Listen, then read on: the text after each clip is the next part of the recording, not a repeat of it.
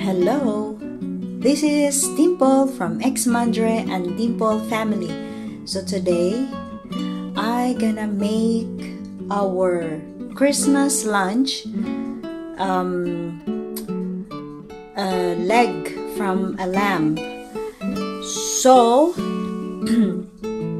gonna start from this. I already washed the lamb with the lemon to remove the extra smell and also I remove some little bit fat on it and let us check the ingredients that we're going to do um, we have the onions, onion bulb, and garlic, and uh, baby potato, and dry leaves, dried rosemary, and dried oregano.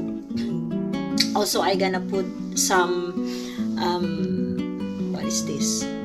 Um, garlic granules and black pepper and olive oil and salt. So, let's start. Look, our lamb, it's ready. Look at that. I put um, little paprika on the baby uh, baby potatoes together with uh, onions. That. And while I am preparing for the lamb, I already preheated the oven. Uh, it is 180 degrees Celsius.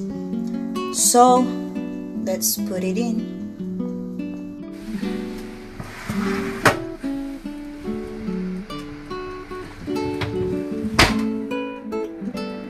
Here we go, and our lamb is ready. Actually, this is two and a half kilo of a leg lamb and look at that our potato it's so perfectly cooked with the onion on it you see how it is? So guys this is so simple easy and so delicious. Look at that. So you can serve it your whole family. Just add it is. Let us try to check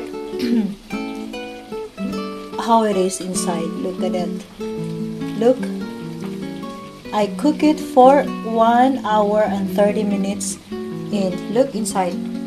Wow! You could smell it. See it still have a smoke. So perfect. So if you like it guys subscribe our channel. This is me again Dimple for Madre and Dimple um, family cooking for our first Christmas. Ciao! Merry Christmas, everyone. Have a nice day.